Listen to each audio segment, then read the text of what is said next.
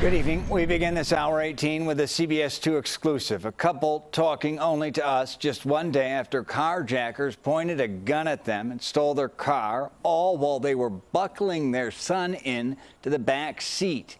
What you see happened here happened in Bucktown, captured on a camera neighbors put up because of an increase in crime, just like the one you see. So far this year, Chicago's seen nearly 1,400 carjackings.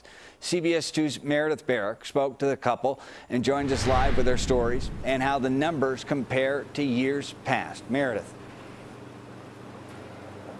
Brad, the couple tells me they were aware how frequently carjackings happen in the city and that they could become victims, but they never expected it to happen on a Sunday morning in broad daylight with their small son in tow. Give me your keys now. Shut up. Give me everything you got in your pocket. Now hurry up. Take your baby. Definitely make sure I, I see the gun and then just ask me for the keys. So I did give him the keys and then he said, you know, take the baby out. The family asked us to protect their identities. They were on their way to a Halloween party Sunday when the carjacking happened. Because I saw the front door was open, I was about to enter from the back to ask, is, is everyone ready? But at that time, I saw um, the carjacker and um, he has the gun point at me and saying that move back. And, and then I realized it's a carjacker and I was it can only help, I think. A man who lives in the same condo building as the couple tell us another neighbor was the victim of an attempted carjacking just weeks ago. He was able to get away, but the condo residents didn't want anyone else to become victims.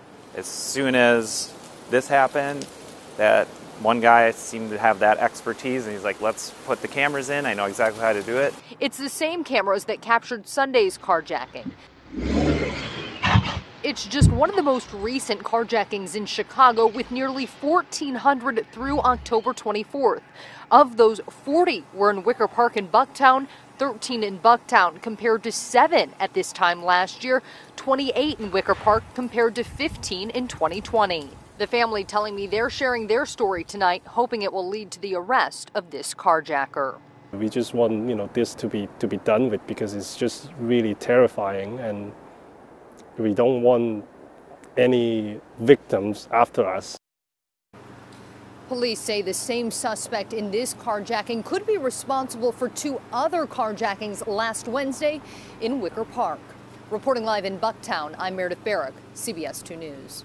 Speaking only to CBS 2's Meredith Barack. Meredith, thank you.